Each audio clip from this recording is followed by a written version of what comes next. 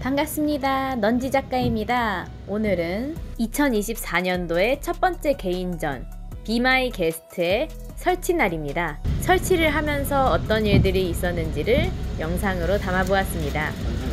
맨날 똑같은 데 아니야? 근데 이제 전시가 다르니까 이렇게 가고 있습니다. 이렇게 찍고 있는 거예요. 오늘도 설치를 갑니다. 화이팅!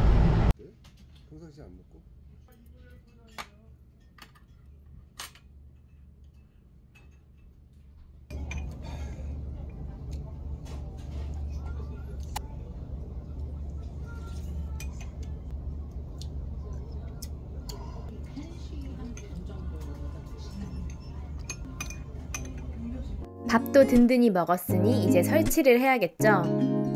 이번 초대 개인전 비마이 게스트는 현대 사회의 관계 맺음과 외로움, 그리고 우리가 잃어버리고 있던 초대와 환대의 가치에 대해 주목해보는 신작들을 선보입니다. 전시 기간 동안 많은 관심 부탁드립니다. 전시는 3월 24일까지 진행됩니다.